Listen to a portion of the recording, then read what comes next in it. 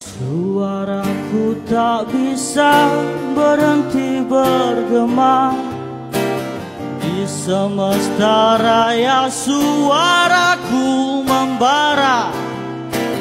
Walau kau terus saja coba membungkamnya Namun suaraku takkan pernah bisa kau Oh 16 tahun yang lalu, aktivis HAM Munir Said Talib dibunuh. Munir tewas dalam penerbangan ke Amsterdam pada 7 September 2004, dua jam sebelum pesawat mendarat di Bandara Schiphol, Amsterdam. Hasil otopsi kepolisian Belanda dan Indonesia menemukan bahwa Munir tewas karena racun arsenik.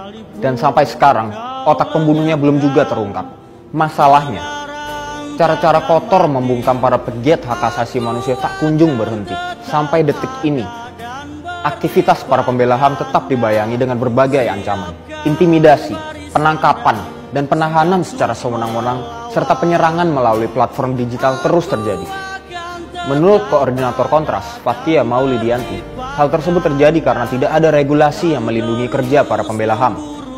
Meskipun perlindungan HAM sudah diakui dalam Undang-Undang 1945 dan berbagai peraturan perundangan, tapi sistem perlindungan yang berbasis keamanan korban belum memadai.